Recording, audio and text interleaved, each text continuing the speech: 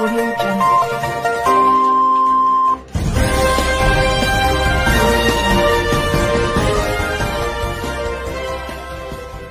Basically यहाँ से हम शिकारा रैली कर रहे हैं, ये बेसिकली जो स्वीप प्रोग्राम होता है, जो वोटर अवेयरनेस के तहत हम कर रहे हैं तो आप सबको बताया कि बारामूला जो फिफ्थ फ़ेज़ ऑफ़ इलेक्शन पे 20 मई को हमारे यहाँ वोटिंग हो रही है। उसके तहत जनरेट अवेयरनेस की कैसे वोटिंग करें। हमारे बाद जैसे यहाँ पे डेमोन्स्ट्रेशन करेंगे कौन कौन से आप डॉक्यूमेंट्स लेके पोलिंग स्टेशन जा सकते हैं? डिफरेंट इश्यूज़ अबाउट इलेक्शंस को अवेयरनेस करने के लिए।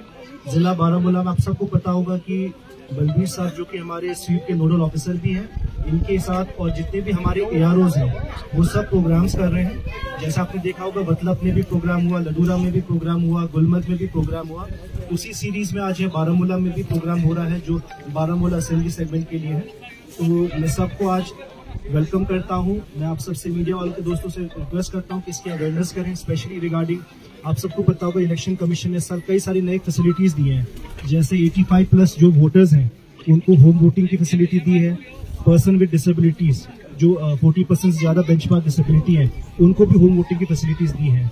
तो ये सारे अवेयरनेस कैंप्स इसी कारण से कि जो जो नए इनिशिएटिव्स हैं, इसको हम लोग आवाम तक पहुंचाएँ।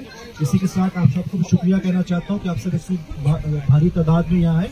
और इसी के साथ हम इस बोट रैली का शुरुआत करते हैं। धन्यवाद। सर। के नोडल अफसर सिंह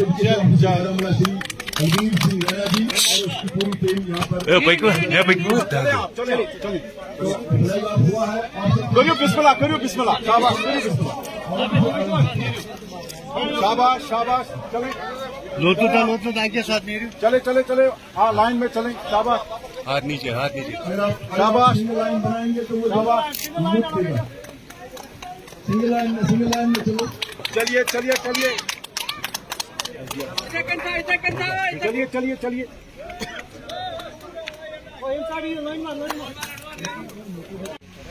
हम कोशिश करेंगे, जैसे हम पहले सारे असेंबली कॉन्स्टिट्यूंसी और सेगमेंट्स को कवर करना चाहते हैं, अगर टाइम हमारे पास होगा तो हम कोशिश करेंगे एक और राउंड करें सो दैट क्योंकि रिस्पॉन्स जो हमें पब्लिक का आ रहा है स्पेशली यंगस्टर्स से आ रहा है, जो डिफरेंट सोसाइटी से आ रहा है, बड़ा ही अच्छा आ रहा है। तो हम कोशिश करेंगे जितना हो सके इसको हम एक्सटेंड करें सो दैट ज़्यादा से ज़्यादा लोग हम कनेक्ट कर पाएँ।